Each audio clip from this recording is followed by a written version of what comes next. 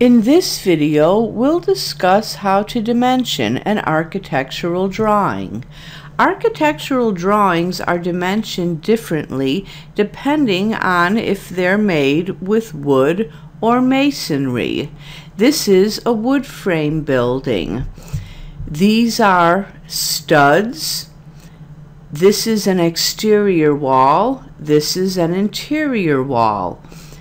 If we were dimensioning this wall this way, this would be the exterior face of the stud. If we were dimensioning this way, this would be the exterior face of the stud.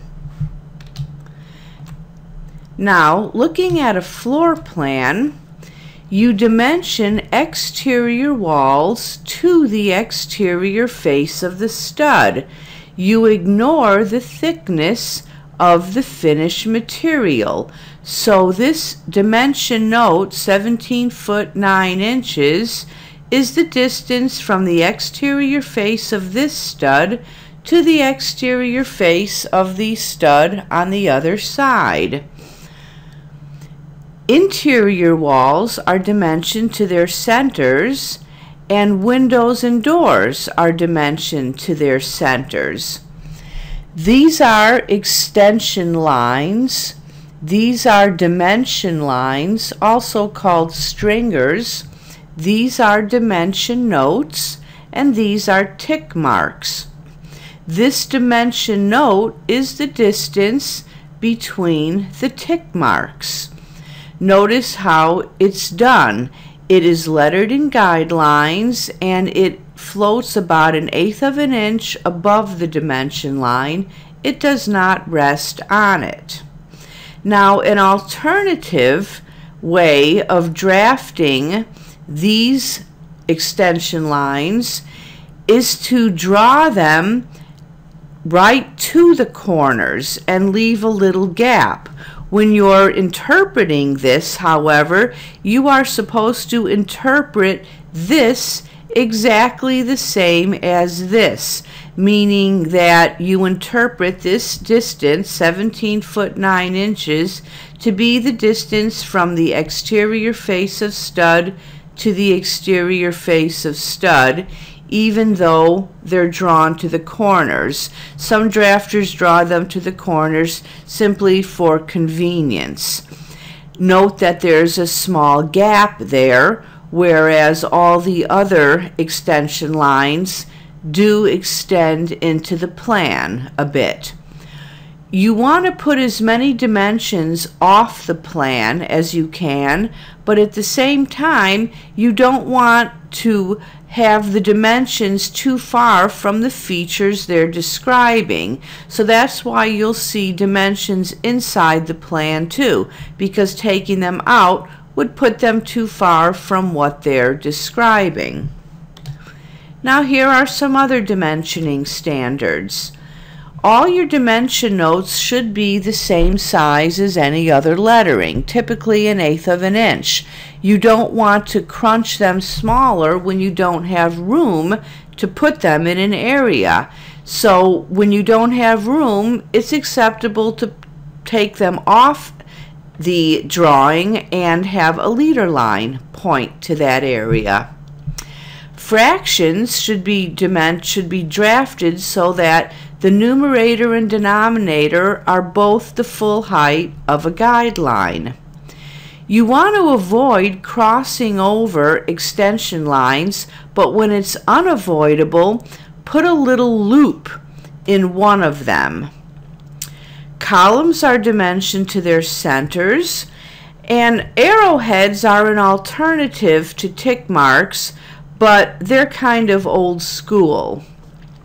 When you write your dimensions, you should write them in proper architectural format. However, if you're crunched for space, along with this being an alternative, this is an alternative. This means 3 foot 0 inches. If there was a number there like 6, it would mean 3 foot 6 inches. When you're dimensioning circles and arcs, you write D or a theta symbol, and that means diameter. So this means that this circle has a diameter of 14 inches, diameter being the distance from here to here and going through the center. R means radius, which is the distance from the center to the circumference, and the radius should be at the end of the arrow. So this means that this arc has a radius of 7 inches. Here is an example of a wood frame floor plan. Let's take a look at it. All the dimension notes are above the dimension lines and on the vertical stringers, they're to the left. So on all the stringers, the numbers are either above or to the left. Above, to the left. When you're dimensioning, you're dimensioning for two things, size and location. You want to tell the reader how big everything is and where it's located relative to other things. So just about everything needs to be dimensioned. Fixtures are dimensioned to their centers, openings to their centers, columns to their centers, windows to the centers, and then you want an overall dimension. You want one horizontally and you want one vertically. You don't need to put the overall on all four sides. Just one overall here and here is enough.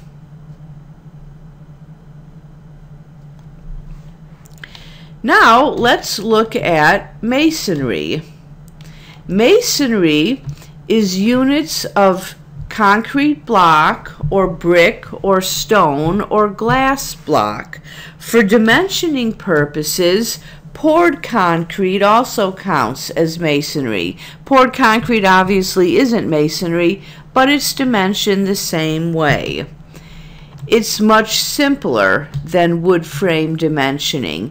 You dimension masonry to the edges the edge of the wall, edge of the window, other edge of the window, edge of the door, and notice that's going to the edge of the jamb, not to the sill, other edge of the jamb, and then to the corner of the wall. Notice there is a gap between each dimension line and the wall. And this is the poché, by the way, for concrete block. Other than that, it's very similar to wood dimensioning. Now, what happens when you have a building that is a masonry veneer on a wood frame? Well, you handle that the same way as you would wood frame. Here is the wood frame, and notice the poché for that is no poché, it's left open. You're dimensioning to the exterior face of stud to exterior face of stud and this is the stone veneer on it which I've given a dimension here of six inches but you could leave that off if you wanted.